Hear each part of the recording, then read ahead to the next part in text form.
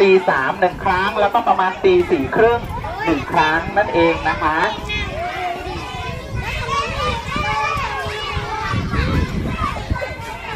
อ่าอันนี้ที่เราเห็นนี้เป็นกุฏิของพระอาจารย์นะ ตอนนี้พระอาจารย์กำลังจำวัดอยู่นะคะ เพราะว่าพระอาจารย์จะตื่นประมาณสองครั้งนะคะอตอนเย็นพระอาจารย์จะต้องออกมากวาดลาน ลานวัดนะคะ แล้วก็สวดมนต์นะคะ ตอนเย็นจะมีการสวดมนต์นะแล้วก็ทำสมาธินะคะ แล้วก็พระอาจารย์ก็จะตื่นอีกครั้งหนึ่งนะคะ ก็คือสวดมนต์ช่วงประมาณตีสี่เนาะอ่าแล้วนั่งสมาธิอ่าตีสามครึ่งพระอาจารย์ตื่นแล้วทำสมาธิ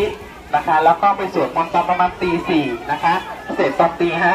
แล้วก็มาเก็บกวาดแล้วก็ประมาณหกโมงเช้าก็ออกบินขบาตนั่นเองนะคะอ่า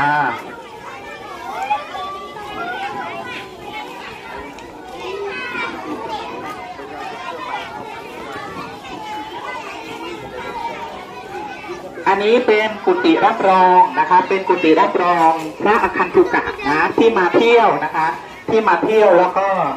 ต้องการเข้ามาพักนะคะ ก็จะมาพักที่นี่นะคะ เป็นที่รับรองของพระอคันตุกะพระมหาเถระนะคะ ที่เดินทางมาจากทางไกลนะคะ ก็สามารถที่จะมาพักที่นี่ได้นะคะเนาะอันนี้เป็นกุฏิของพระอาจารย์หมดเลยนะคะเป็นที่อยู่ของ